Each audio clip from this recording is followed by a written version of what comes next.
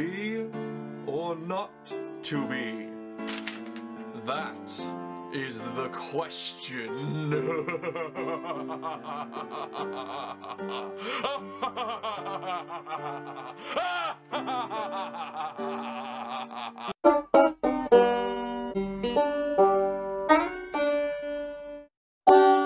Hello classmates, Shakespeare lovers, and everyone who confused copyright and censorship. It is I, Nick.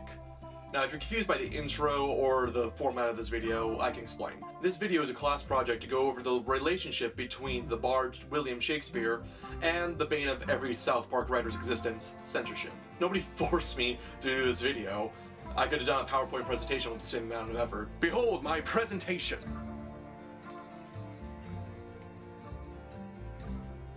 Okay, I spent my entire time doing a cool transition, but it was still awesome, right? I'm making this video because I thought, well, it'd be fun, and I could post it on my YouTube channel and force everyone in my classroom to watch it for full engagement. Is that scummy? Oh, well, I think...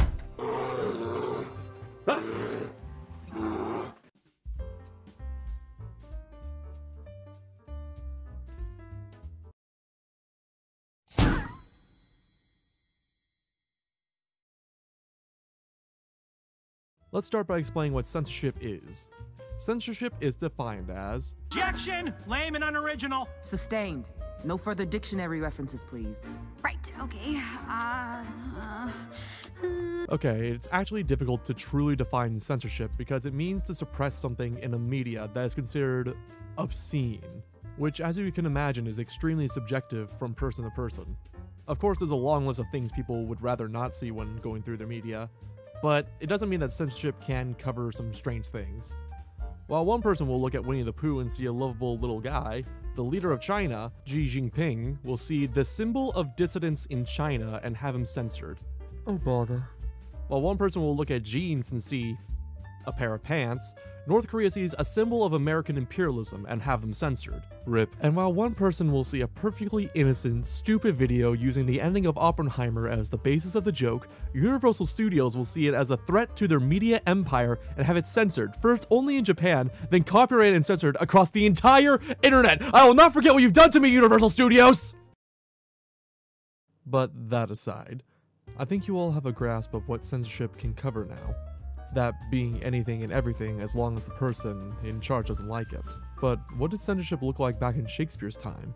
Well, let's take a look back in time and see for ourselves with oh, it was basically the same thing. Huh.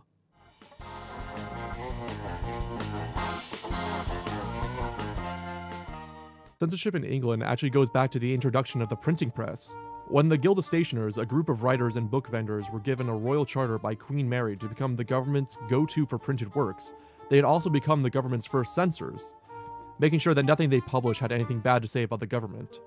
This policy of government censorship continued into Queen Elizabeth's reign. But instead of focusing on censorship in books, she also saw forms of entertainment as a threat as well. They may silence my writing, but they can't silence this! Take the shot.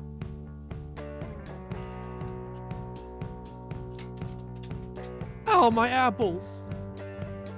She censored theatrical productions through the Master of Revels, a position that controlled all Elizabethan entertainment from auditioning the acting troupes and selecting the plays they performed, to approving the scenery and costumes used in each production. All scripts had to be submitted to the Revels office before they performed, where they were checked to ensure that they were both politically and morally safe. They could force the writers to make alterations to the script as well. And I know what you're thinking. With how crass, scandalous, and politically charged all Shakespeare's works are, he must have gotten censored a lot. Well, you'd be wrong. He never really caused many problems for the government.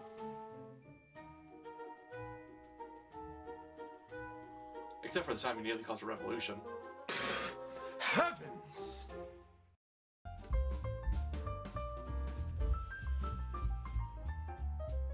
Instead of just telling you how that happened, I'm going to use this premise of using a video to show you what happened so I can justify my suffering here. So without further ado, may I present to you Shakespeare nearly causing a revolution.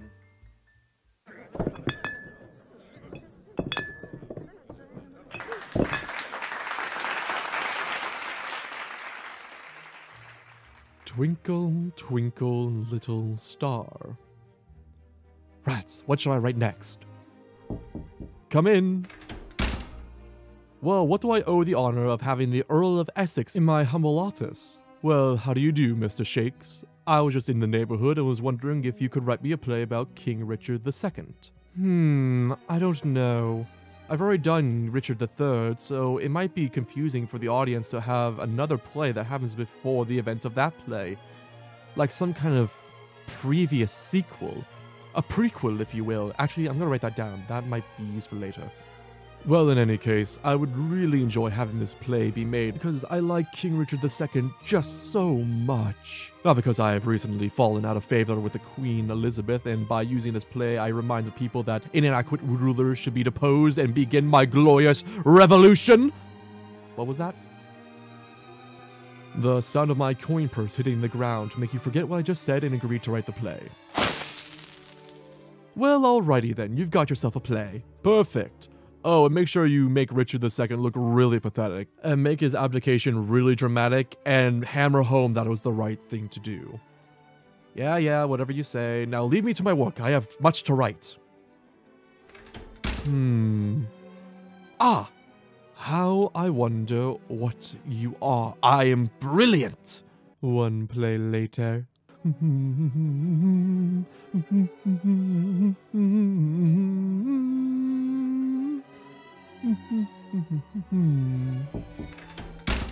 ah, Edmund Tilney, my master of revels. Your timing couldn't be more perfect. I just got finished with another sure to be classic that I need you to check. There once was a man from Nantucket. Not now, Sir Spear. I've come here today because your most recent play has caused some issues and must be changed. I don't understand. You nor the Queen have ever had problems with my plays before. What is the issue with this one?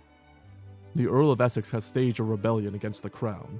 Though had it failed, many of those involved had come from watching your Richard II play. We believe they were inspired by your work and we must change it now before something like this happens again. Well, I am flattered that you think I can inspire such feelings in people. I hope you know that I am loyal to the crown but I'm also loyal to my art. So even if it causes troubles with the courts of England, I refuse to change anything about my play, for it is the sacred duty of art to challenge the status quo and see that change happens when it becomes necessary. Look, you can either change the abdication scene, or you can end up like this guy. I'll go get my pen.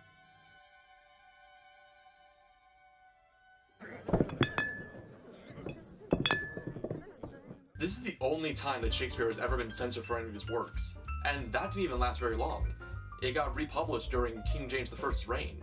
The only other attempt to censor Shakespeare happened long after Shakespeare's career ended. And his life. In 1807, a man named Thomas Bowdler published a book titled The Family Shakespeare, which removed the inappropriate material that is common in Shakespeare's plays trying to create a family friendly Shakespeare purged of all blasphemy and immorality. Some of these changes include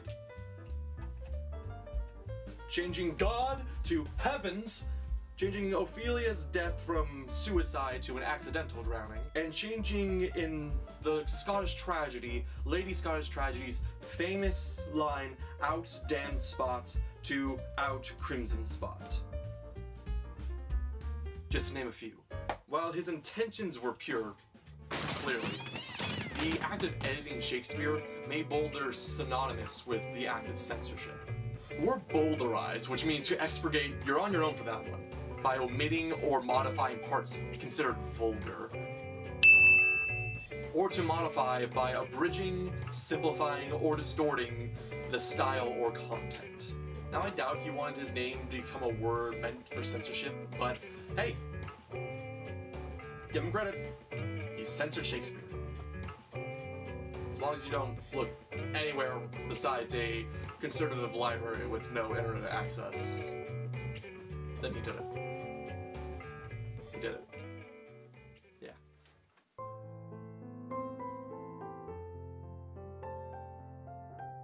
Now, I know I've been making light of censorship throughout this entire video, and it's mainly because it's laughable how much people try to censor something but it's also a reminder of how far people will go to control something as well. Because that's what censorship is control.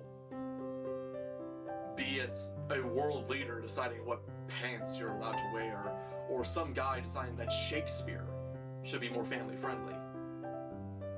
It's not up to us what can or cannot be censored. It's who's ever on top or decides they have the right of way. And that's what makes art so important.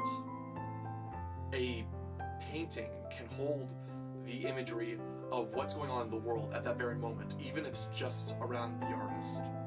A song could hold the feelings of inspiration that made it, and theater can show an audience everything so very little.